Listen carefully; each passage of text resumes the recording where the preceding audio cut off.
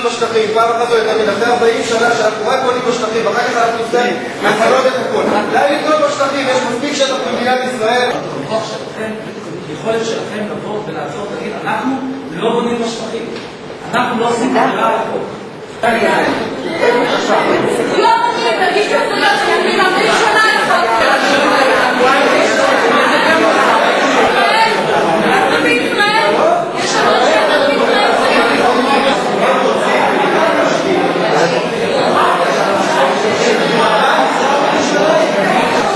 גם משימות, גם שלכם, אנחנו מבקשים לקחת אחריות. זאת מדינת ישראל כאן? לא, בכלל, זאת מדינת ישראל? כן, מדינת ישראל יש לה אולי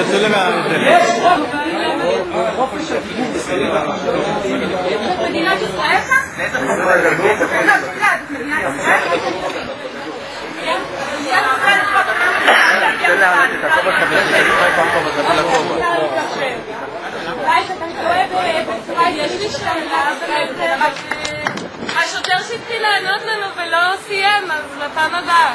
והשוטר שרצה להוציא אזיקים, אני מעודדת אתכם לעשות طبعا والقناه دلوقتي مشغلين صورين برامو لانو